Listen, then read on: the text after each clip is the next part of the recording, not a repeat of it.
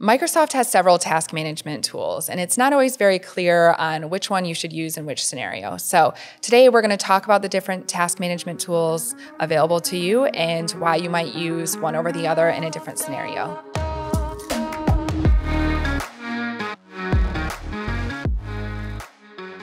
Effective task management makes us more focused and productive. Having your tasks spread across multiple tools, which is happening more and more these days, can be frustrating and ends up causing tasks to fall through the cracks. It also slows us down because we have to view multiple places to find out what's due, what's assigned to us, etc. Microsoft has a number of tools accessible and easy for the everyday user to improve your task management on a personal level, also with a group level if you're working with a team. So let's get into some of the most popular ones today. We're going to take a look at Microsoft To Do, Microsoft Planner, Microsoft Lists, and the newest one, which is Tasks in Teams, and also how these tools are going to integrate tasks for you across applications so that you don't have to look for your tasks in multiple places. All right, the first app that we're going to get into today is Microsoft To Do. I find this app extremely helpful. It's really great for granular task management. It manages your personal tasks, but it also integrates with Planner so that you can really see all of your tasks that are assigned to you in one place. So this is available on the desktop version. So I always have it open on my computer, but there's also a really nice mobile app so that you can have it with you on the go, especially helpful if you're using this more for personal reasons outside of work. Um, it's a quick and easy way to access those tasks. So let's get into a little bit about what this looks like and how it's best used. So you have all of your tasks. If I look at the app here, um, these down here are personal lists. So I can have work lists. I could create personal lists. Um, and then up here is what I like the assign to you tab is everything that's assigned to you through Microsoft Planner. And then planned is everything that has a date associated to it. So here's where you can really organize your schedule. I can plan what I'm going to get done today, what I'm going to do tomorrow. I can at a glance see what's due later this week. So as long as you're assigning due dates to tasks while you're creating them, they'll show up in a schedule for you. And if you have a list, like if I take this personal list, I don't have dates on there, well, just one of them. What I can do is at the beginning of the day, review all of my to dos. If I right click, click, it gives you options to add it to different lists. So nobody does well viewing all of their tasks in one massive list. So the best way to do to organize those is to get them into bite-sized pieces. So I might see one thing um I know I need to do this one today. Um, and you know what? This one too needs to get done today. Uh, this one I want to mark as important, and then I can have my customized lists available to me here. So I can see what's planned again. I can see what's assigned to me. And most importantly, I can see my day. So if I want to start my day by viewing all of my tasks in to do, so that's going to gather what's assigned to me across both to do and planner, my personal ones, my work ones, and create what do I want to focus on today. And that really sets anyone up for success. It's a smaller, manageable list of tasks that feels achievable. And, you know, who doesn't feel good when they mark them off? Uh, the other benefit of To Do is that it integrates with Outlook. So if you've in the past used Outlook tasks, this has really evolved into To Do. If you flag an email in your Outlook, that's going to show up here in the To Do app. So if I see an email in my Outlook that I need to follow up on later, I'm going to hit that little red flag. And then when I'm working on my day or when I'm just reviewing what my tasks are in the app, if I just click uh, flagged email, that's going to show me the emails that I've flagged. And if you mark them done here or in Outlook, they'll uh, speak to each other and they'll show up done in both places. So if you're a fan of flagging your emails in Outlook to come back to later, this is a great way to manage those. Uh, as we all know, emails get buried and sometimes we might not you know scroll through to find those flags and this is a great way to stay on top of that.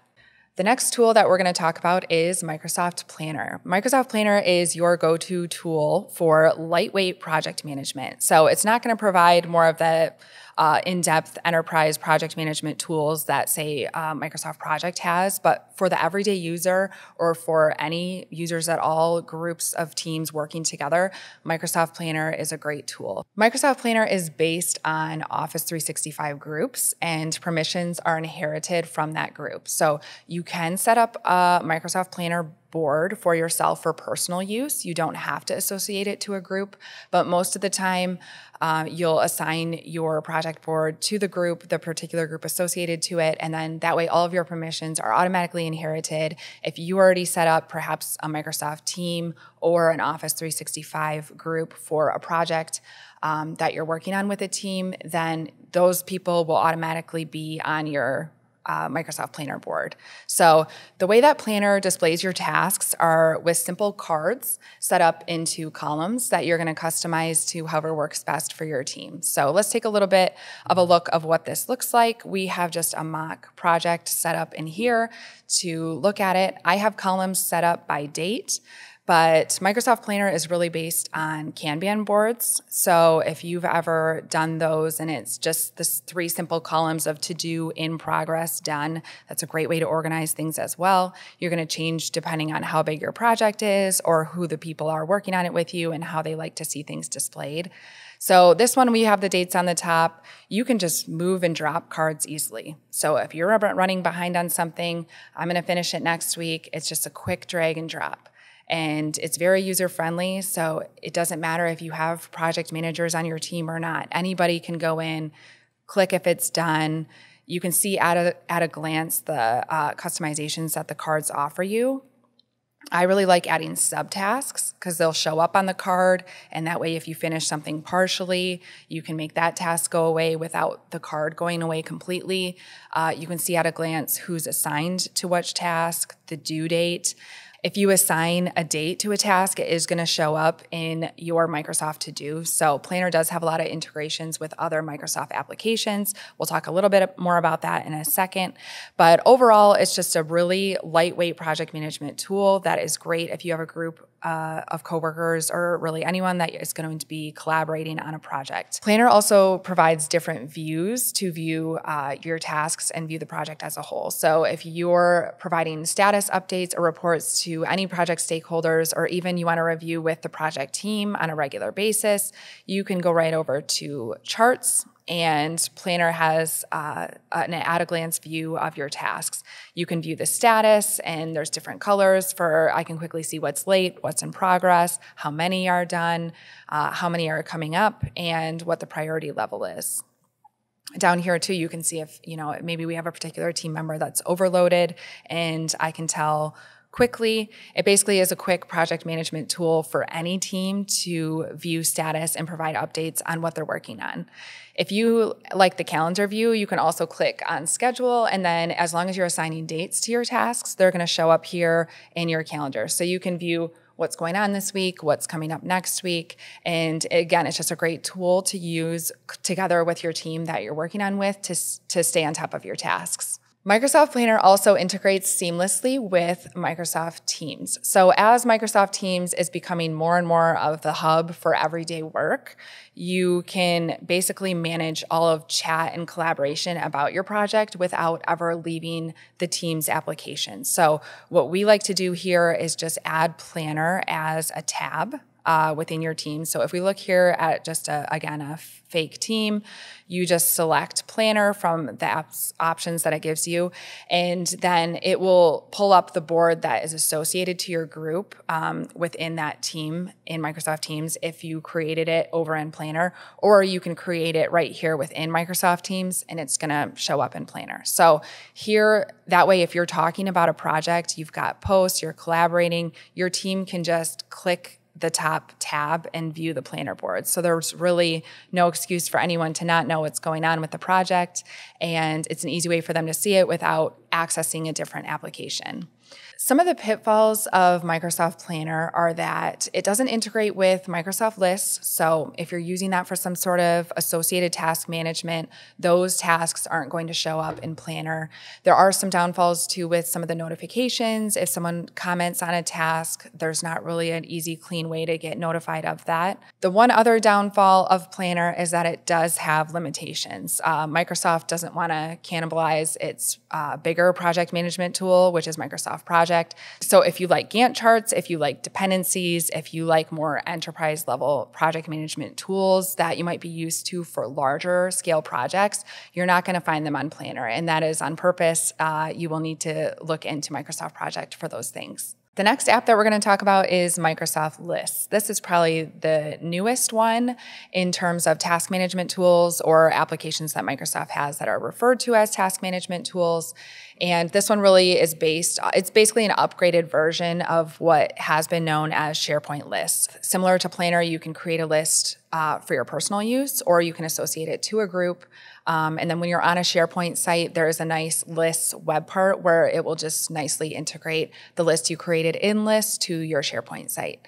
Um, some of the benefits of Microsoft Lists is that it's a clean, flat structure to view and track items. So the main thing with Microsoft Lists is that it's often referred to as Microsoft's uh, one of their task management tools that they offer.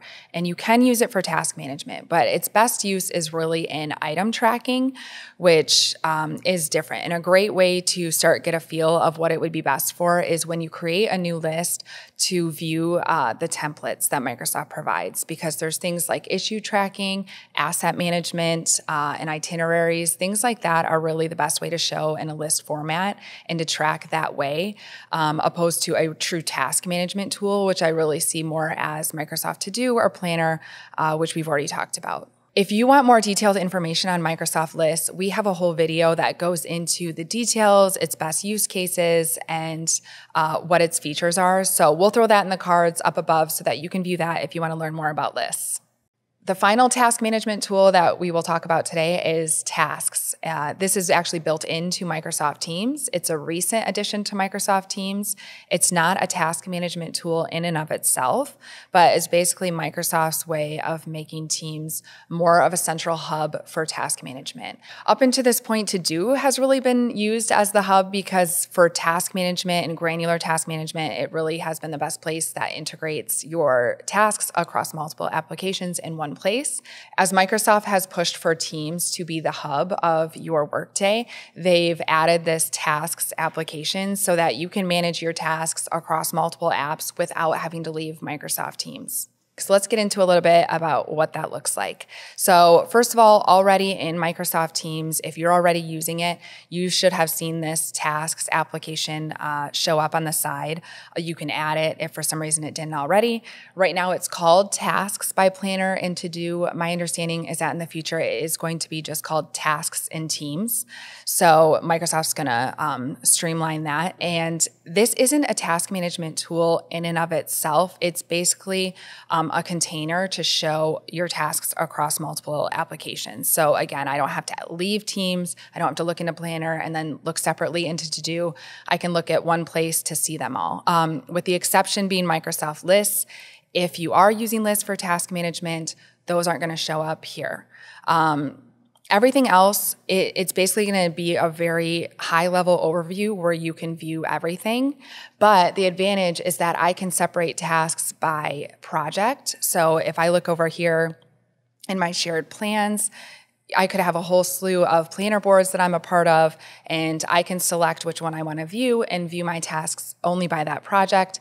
I can view the lists up here that I've created in to do. So if, as we started, if I've already got stuff marked as important, if I've already created um, a plan for my week, then I can just use that as my source to accomplish my tasks off all of the applications, uh, or you can view everything at once. So again, having the ability to customize the view and figure out what works best for you is what's going to make you more productive in the end.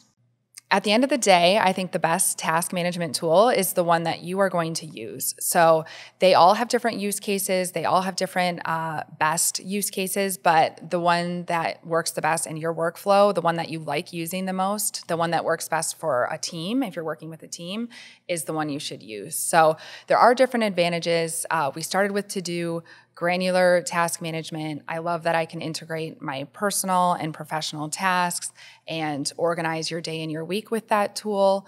Um, there's Microsoft Lists, which I don't love as a task management tool, but great for issue tracking, uh, itineraries, stuff like that.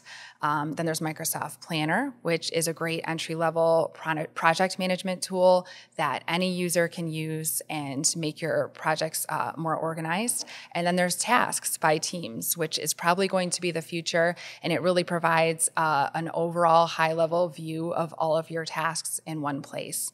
So, with the expansion of applications as a whole um, across Microsoft projects and other projects, it's become more and more important to have an integrated place to view everything that's assigned to you um, without having to go to each of those tasks. So, the best way to stay organized and efficient is to have a task management tool that you enjoy using. If you like this topic and other modern workplace topics, we have recently launched a new podcast to really provide some better long form information to you. It's called Make Others Successful. We'll include the link down below. So go ahead and listen if you like this type of information. Um, also, please give this video a thumbs up if you found this helpful. Hit the subscribe button and hit that notification bell so that you can be uh, notified every time that we upload a new video. We've also just launched a learning center on our website. So if you like to explore content on your own, we've got it organized by different topics, uh, all modern workplace related. So we'll leave the link down below to our website as well, and you can explore uh, the topics that you may need more information on there. Thanks for watching and have a great day.